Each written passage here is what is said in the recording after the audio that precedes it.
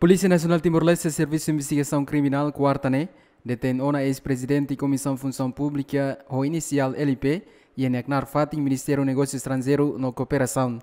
Detenção ne halo e a tucusia de Dersan, baseado mandado Tribunal Distrital Lili, o número NUC Mamu Crua, Hito Hito, bara Sanulu Resen Hito.